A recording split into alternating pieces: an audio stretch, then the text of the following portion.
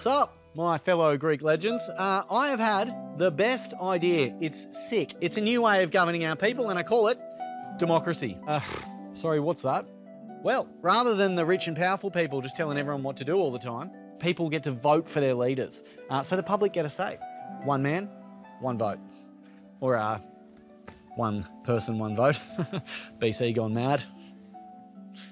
Not sure women voting will fly. Well, it's a good thing we have a soothsayer.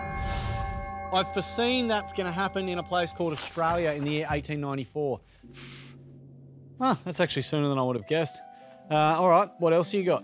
Bro, I've got it all covered. All decisions in democracy will reflect the will of the people. Hang on, hang on. Um, who's going to pay for this? The government, elected by the public, are representing the public, so the public purse will pay, will cover it all. Cool. Uh, nice idea. What if we also make it that people can donate to the politicians? You know, give them a little help along the way. Right, uh, not exactly what I had in mind. Would there be limits on how much these rich people could donate so as not to distort the system and give these rich people privileged access? Um, no, I'm thinking I'm thinking no limits whatsoever. Like the richer they are, the more they can give, the more access they receive, so the more influence they'll be able to gain over politicians. Look, I'm going to be honest, that doesn't sound great. Um, I assume they would have to disclose these donations publicly. Ah, I mean, only if they were like really, really, really big. okay, uh, and when would they tell the people about these donations? I mean, surely they should know immediately.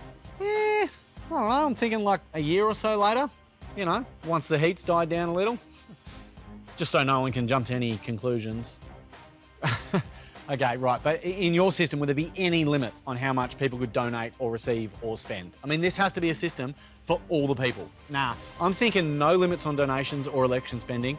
Uh, they'll need the money to be able to spread their message to the people, right? You know, advertising. Uh, okay, and um, and this message that they spread, um, would it have to be true, factual, and faithful to the people that they represent? To be honest, I was thinking more like they just say whatever they want, and no matter how false, I imagine the point of it would be to utterly destroy one's opposition through talking shit about them. What the actual Philippides? This this completely ruins the whole system. I mean, surely no country in history would ever accept such a distortion of the system of democracy that I am presenting. I don't know, let's throw to the soothsayer.